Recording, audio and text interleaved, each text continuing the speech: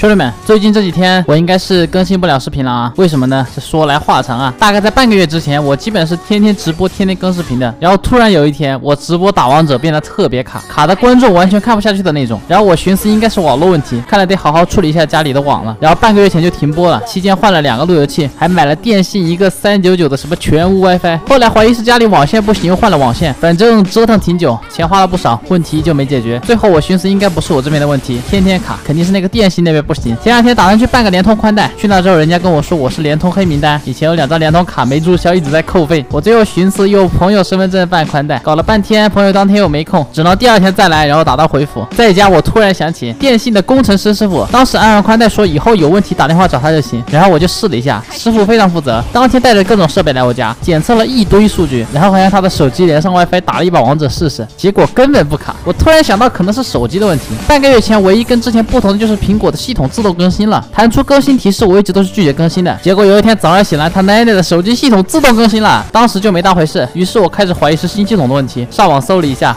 一搜果然是 iOS 系统十七点一，信号特别差。但据说十七点二修复了信号问题，于是我马上更新成十七点二，信号果然好了不少，不再像十七点一那样一局从头卡到尾了。但还是感觉偶尔卡顿，我就很烦。打巅峰赛高分的兄弟们应该都知道，很多时候上了突然来个一秒左右的小延迟，就非常要命。于是我想把系统降回十六版本，结果他妈的苹果不让降，我真不知道这更新的目的是什么。我用的好不得了，突然非得强制更新，搞得我这半个月跑东跑西还停播，降不了系统了。我寻思再升一下吧，十七点二已经是最高了。好在十七点三能在艾斯助手上更新，备份完所有数据，重装系统后，有个激活锁，非得要我输入苹果 ID 和密码才能使用。你说这玩意儿基本都不用，谁去记它？ID 和密码我都不记得，打算找回密码，结果当时填的那个手机号太久没用，已经被注销掉了，现在已经是空号了。于是我一遍遍试，结果试出来了后，他说这个苹果 ID 不安全，不让登录住了，心态崩了，兄弟们。后续我只能去苹果售后实体店试试，或者注册回那个手机号。我是那种没有团队、没有工作室、没有 MCN 的个人博主，很多事情下来只能自己着手去一件件解决，并且直播跟视频都得兼顾，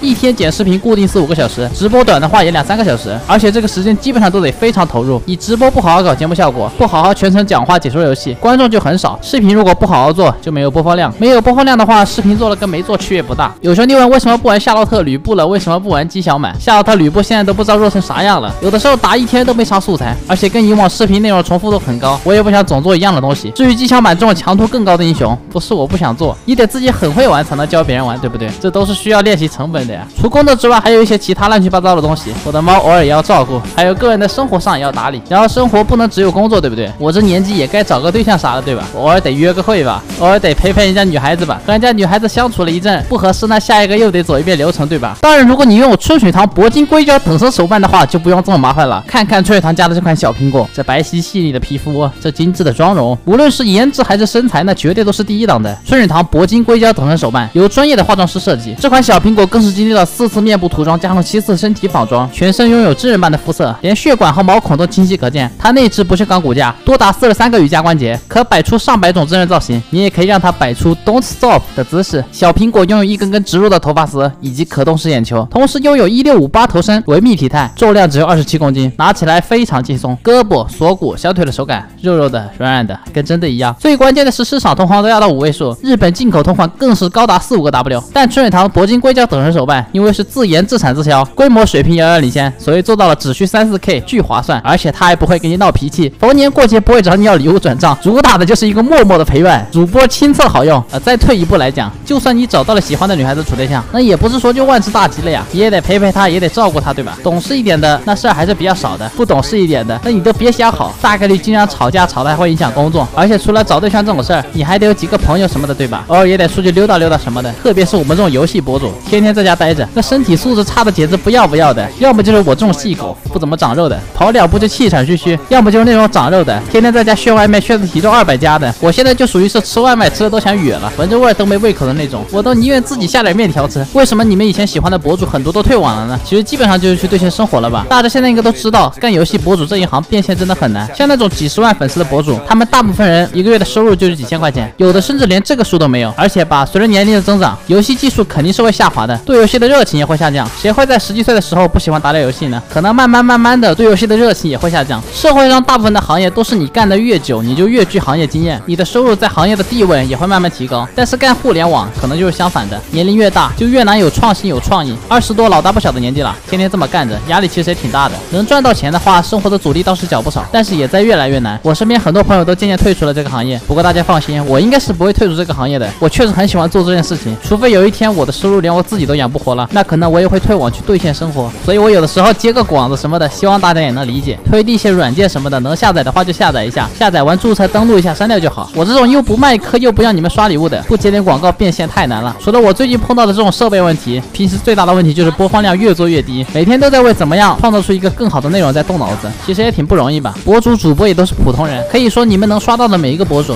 他们都是在背后付出了很多努力的。就我这种体量的博主，每天都操心死了，更别说那种体量更大的，有的甚至全年天天稳定时间直播，我自问做不到。就这些吧，可能会断更几天，兄弟们。最后这期视频文案在十九号其实就已经完成了，因为各种原因到今天二十二号，可能是二十三号才发布。哎，视频还没发出去，其实今天二十二号设备就已经修好了。计划总是赶不上变化啊，世事无常可能明天后天我就恢复正常更新了。谢谢大家愿意听我啰嗦到这，爱你们。